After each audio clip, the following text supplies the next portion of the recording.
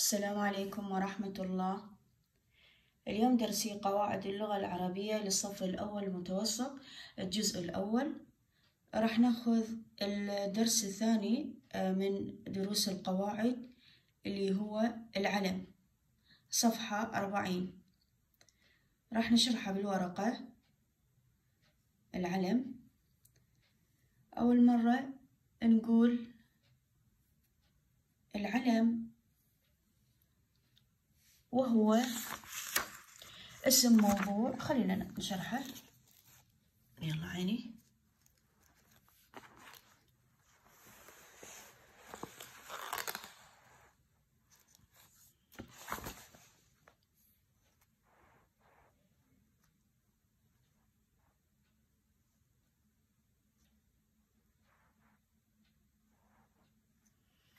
العلم. وهو اسم موضوع لشيء معين مثل إيش العلم؟ مثل محمد فاطمة زينب بغداد هذا اسم العلم.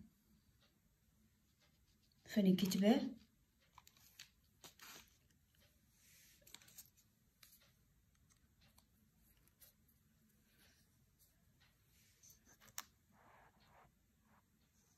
يلا عيني. العلم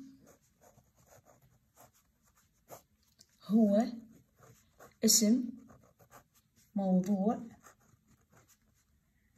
لشيء. لشيء شنو؟ معين. العلم هو اسم موضوع لشيء معين. مثل إيش؟ مثل محمد. زينب. فاطمة. بغداد. دجلة.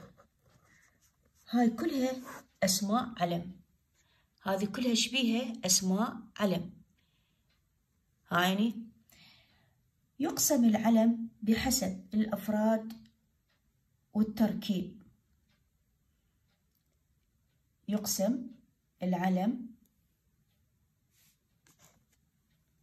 يقسم العلم إلى قسمين. العلم يقسم إلى شنو؟ قسمين. هما أولا العلم المفرد العلم المفرد. اثنين العلم المركب العلم المركب.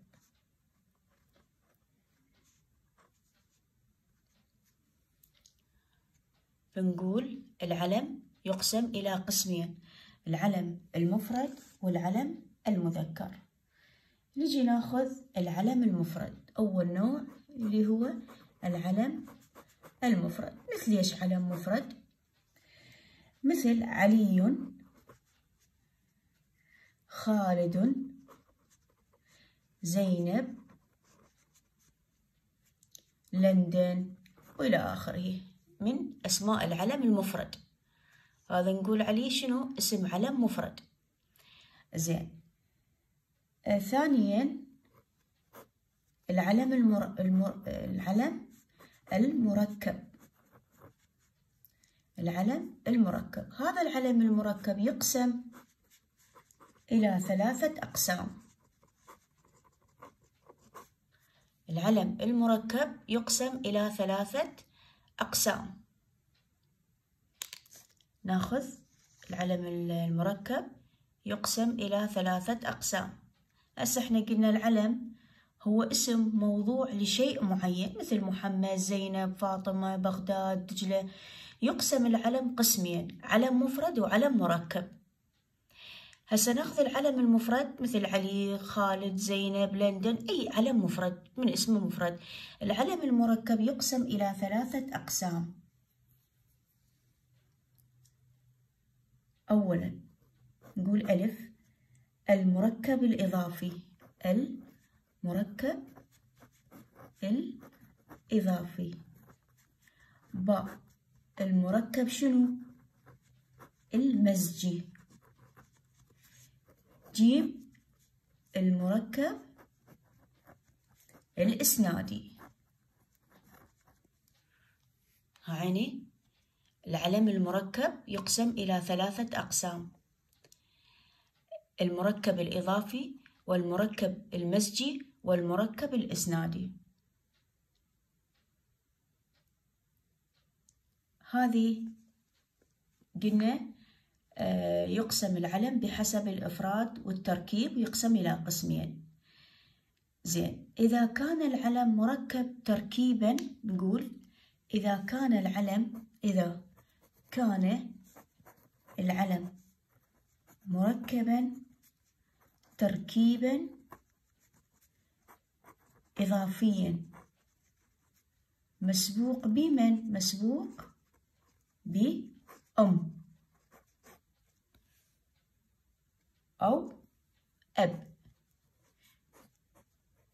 أبو. إذا كان العلم مركب تركيبا إضافيا مسبوق بأم أو أبو. يعني سمي شنو؟ سمي كنية. نسميه شنية؟ سمي كنية. أما إذا كان دال على مدح أو ذم أو نسب فيسمى لقب. وما عداه يسمى اسم. يلا عيني أما نقول أما إذا كان دال على مدح.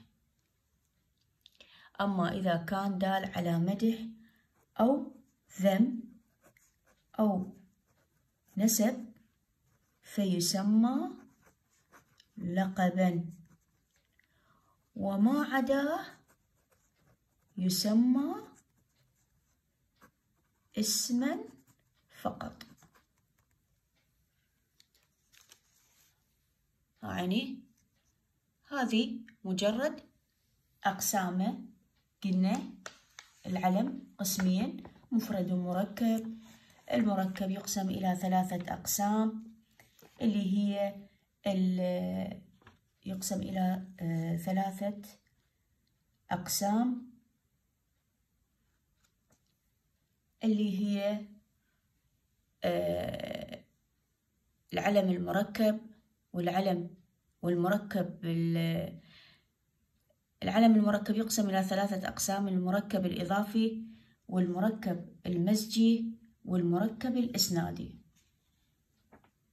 زين. هسه شو راح أسوي؟ هاي بمجرد أقسامة. هسه راح ناخذ كل واحد ونشرحه بالتفصيل. مثلا ناخذ المركب الإضافي وناخذ المركب المزجي وناخذ المركب الإسنادي. يلا عيني.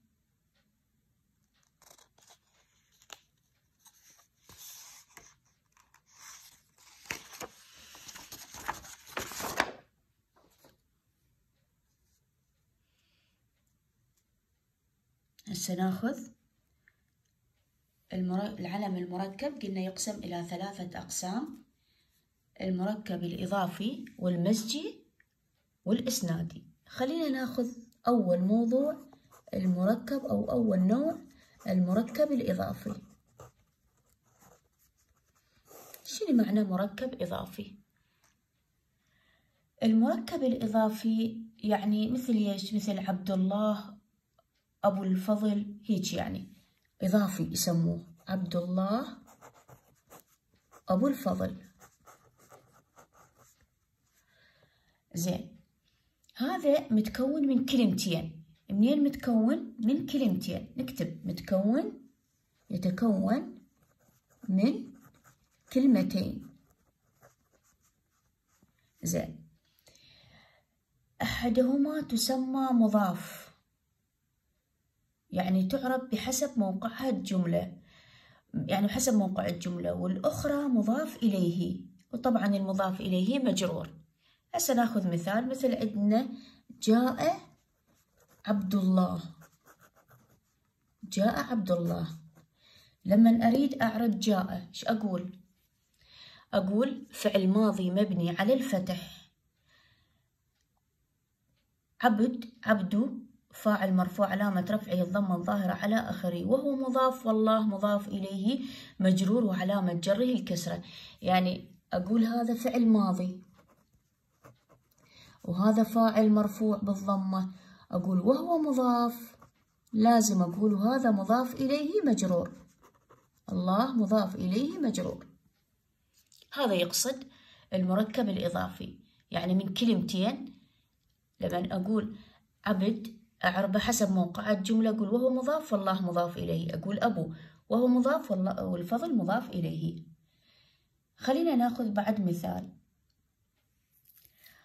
رأى رأى محمد رأى هذا بحالة الرفع. رأى محمد عبد الله. لما أريد أعرب رأى رأى فعل ماضي مبني على الفتح. محمد فاعل مرفوع علامة رفعه الضم الظاهرة على آخره. عبد مفعول به منصوب وعلامة نصبه الفتحة وهو مضاف والله مضاف إليه مجرور وعلامة جره الكسر. عيني زين.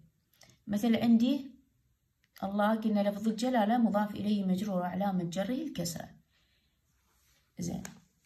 مثل سلم نأخذ مثال. سلم هذا بحالة الرفع والنصب وهذا الجر. سلم محمد على عبد الله. قلنا حسب موقعها من الجملة. سلم فعل ماضي مبني على الفتح. محمد فاعل مرفوع علامة رفعه ضم الظاهرة على آخره. على حرف جر. عبد شنو؟ اسم مجرور وعلامة جره الكسرة. وهو مضاف. والله مضاف إليه مجرور وعلامة جره الكسرة. هذا المركب الإضافي. نقول وهو مضاف والله أو أي شيء أبو الفضل مضاف إليه. هذا المركب الإضافي. اثنين المركب المزجي. شو المعنى مزجي؟ قلنا الإضافي يتكون من كلمتين وهو مضاف مضاف إليه. المزجي لما أريد أعرفه شنو هو هو نقول آه شلون نقول؟ كلمتين قد مزجتا يعني مزج مزجت معا حتى يكونون كلمة واحدة. يعني هو أصلا شنو المزجي؟ أصلا كلمتين ممزوجة ويكونون كلمة واحدة. مثل إيش؟ مثل حضر موت. مثل إيش؟ بعلبك. ها كلهن كلهن كلمة واحدة. مثل إيش؟ معدي. معدي كرب. هذا النوع حضر موت وبعلبك والمركب المزجي ومعدي كرب. آه هذا يعرف بالحركات. يعني الضمة رفع والفتحة نصبا وجرا ماكو كسرة. الضمة رفع والفتحة نصبا وجرا. من دون تنوين يسمى ممنوع من الصرف. خلينا ناخذ مثال أو نعرفها مثل هذه بعلبك. هذه هذه بعلبك. لما نريد أعرب هذه اسم إشارة مبني على الكسر. في محل رفع مبتدأ. بعلبك خبر مرفوع علامة رفعه الضمة الظاهرة على آخره. ليش خبر؟ لأن هذا في محل رفع مبتدأ. وهذه هنا خبر مرفوع وعلامة رفعه الضمة الظاهرة على آخره. زين. ناخذ مثال اللاخ. إحنا لازم ناخذ الرفع والنصب والجر. عندي زار زار محمد بعلبك.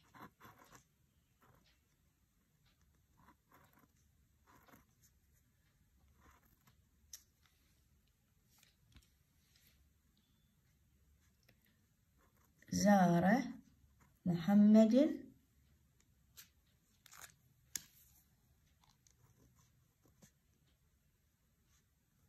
بعلبك. زين لما نريد اعرب زارة فعل ماضي مبني على الفتح. محمد فاعل مرفوع علامة رفعه الضمة الظاهرة على آخره. بعلبك مفعول به يعني نقول حسب موقعها من الجملة مو هذه. هذه.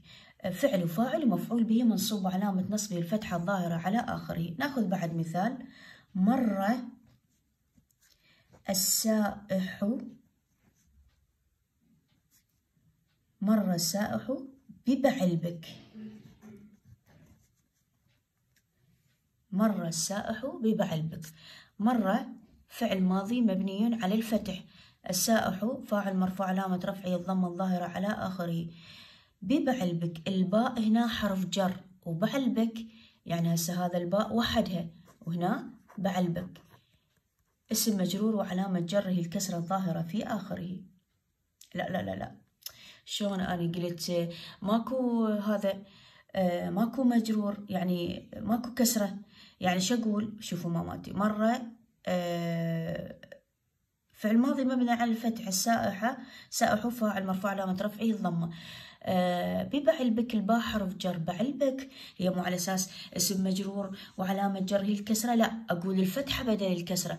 اسم مجرور آه وعلامة جره الفتحة بدل الكسرة لأنه ممنوع من الصرف. خلينا نكتب هذا. نقول اسم مجرور وعلامة جره. ما عندنا كسر بس فتحة. يعني النصب والجر بالفتحة. جره الفتحة أقول بدلا من الكسرة. ليش؟ لأنه ممنوع من الصرف. زين. هسه بعد أكو قبل لا ننتقل على المركب الإسنادي أكو نوع ثاني نوع ثاني أنا مو قلت إذا كان العلم مركب إضافي مسبوق بأم أو أبو تسمى كنية هسه بقت أكو نوع ثاني آه اللي هو ختم بويه مثل سيبويه خالويه أقول النوع الثاني النوع الثاني مختوم بويه. مثل سيبويه خالويه. هذه هذا النوع الثاني. زين هذا النوع يبنى على الكسر. شو أقول؟ يبنى على الكسر جميع أحواله. يعني أقول مبني على الكسر. لازم أقولها هاي. هسه خلصنا نوعين. بقى النوع الثالث اللي هو المركب الإسنادي. أخذنا الإضافي والمزجي هسه المركب الإسنادي. المركب الإسنادي. هذا شنو إسنادي؟ هذا يكون نوع جملة مرة مرة جملة فعلية وجملة اسمية. يعني يكون جملة فعلية واسمية. يكون هذا النوع يكون هذا النوع جملة فعلية أو اسمية. يكون هذا النوع جملة فعلية أو اسمية. زين. آه مثل عندنا آه ناخذ مثال عليها. مثل آه جملت أخلاقها.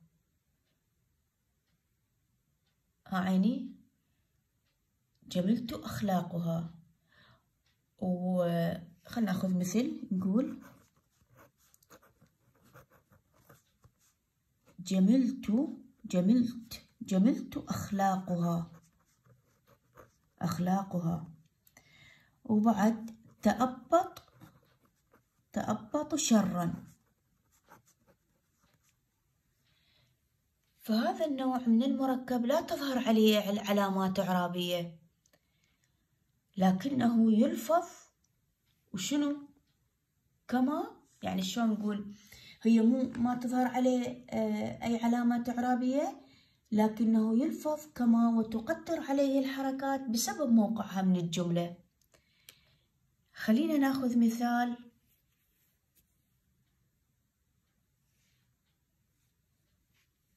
مثال مثل عندي هذه هذه جملت أخلاقها. أريد أعرب هذه هذه شقول اسم إشارة. اسم إشارة مبني على الكسر في محل رفع مبتدأ. جم جملت أخلاقها. خبر مرفوع وعلامة رفعه الضمة المقدرة. الضمة المقدرة يعني اثنينات نعرفهن زين رأيت رأيت جملت أخلاقها. أريد أعرف رأيت. رأيت شو أقول؟ أقول رأى فعل ماضي مبني على السكون والتاء ضمير متصل مبني في محل رفع فاعل. يعني فعل وفاعل. إذا هذه الشعر بهن اثنينات جملت أخلاقها مفعول به منصوب علامة نصبه الفتحة المقدرة مفعول به منصوب وعلامة نصبه الفتحة المقدرة.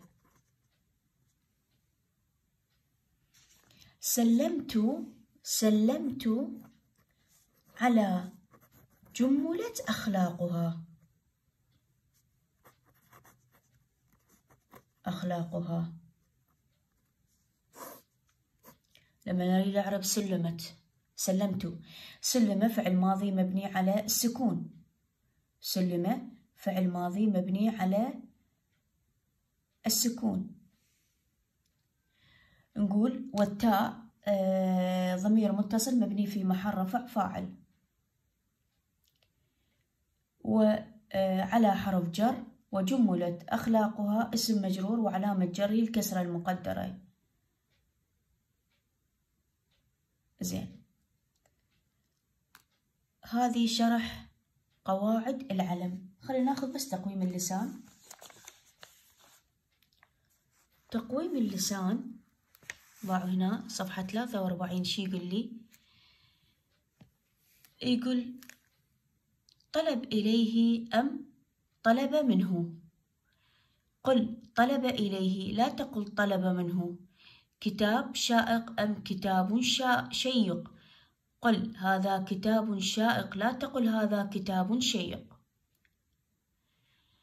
هاي عيني موضوع العلم للأول متوسط. وإن شاء الله على الفيديو اللي راح ناخذ نحل التمارين.